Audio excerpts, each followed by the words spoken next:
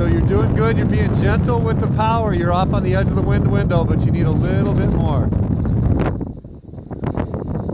Bring it right. Here. Keep driving it left.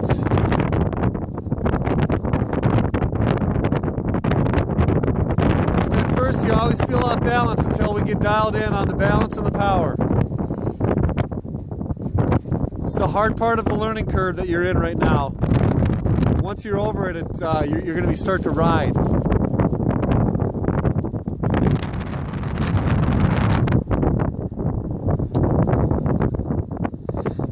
Nice use of power. So you're just a little bit light. Bend your knees. All right, go left again. Careful, careful, careful. Pull in, left.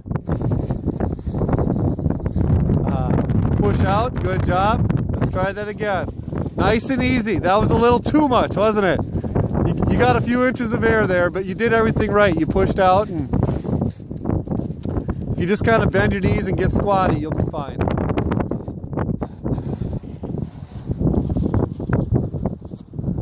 That's pretty aggressive to go all the way over that far and then bring it left. You just want to go just past noon. Now, now go left.